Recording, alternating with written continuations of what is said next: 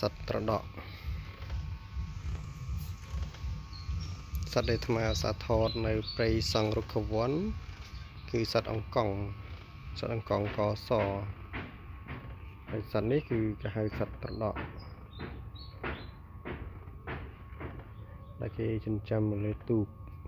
នៅលើផ្ទៃទឹកទន្លេសាបនេះមួយក្បាលមានតំបែក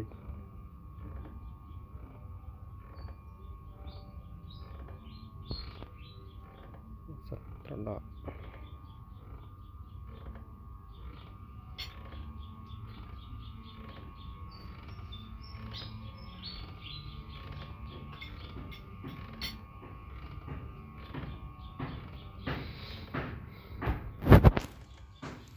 យើងណាត់ស្គាល់សត្វត្រដក់គឺសត្វត្រដក់បែបនេះ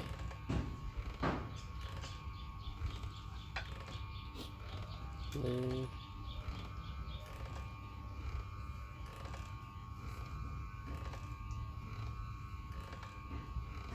ទូក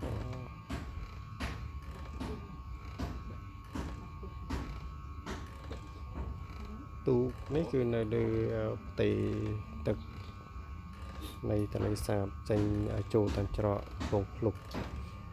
កំពង់ភ្លុកដែលយើងធ្វើដំណើរទៅឥឡូវគឺរីងខាស់អស់នៅក្នុងថ្ងៃទី19មេសា2019